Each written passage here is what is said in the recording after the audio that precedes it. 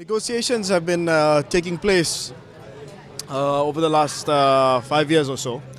Uh, Cabinet has um, given uh, uh, Tok Pa and uh, the negotiators from MITI a very, very clear mandate to protect our national interest and to ensure that the TPP um, can be signed on to on our own terms. Uh, I, I believe that uh, and MITI have done their best uh, to get the best concessions uh, for Malaysia according to uh, cabinet mandate. At every single step of the way, I have to uh, stress again, uh, has uh, sought cabinet um, mandate.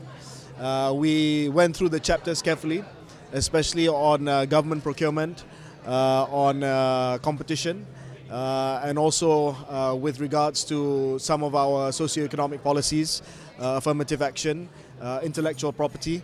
Uh, as well. So uh, we were very, very mindful of the concerns raised by, um, by SOEs, state-owned enterprises, by civil society, by consumer groups. And they were brought in uh, to, uh, to be uh, for stakeholder engagement throughout the process. And uh, we believe that uh, the, the final agreement was um, uh, the best uh, that we could hope for in terms of concessions for Malaysia. But as I, as I said again, and I would like to stress this many, many times, uh, it's not final, it's not over. It'll still have to go to uh, cabinet with a final text.